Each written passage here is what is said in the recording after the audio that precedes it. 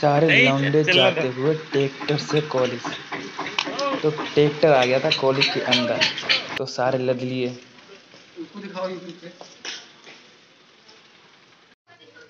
इन लोगों क्लास अभी बंक कर रहे हैं सारे। बंद कर रहे हैं? हाँ।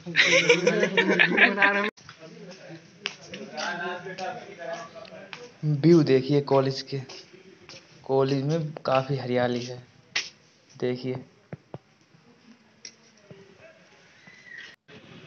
समझ रहे हो?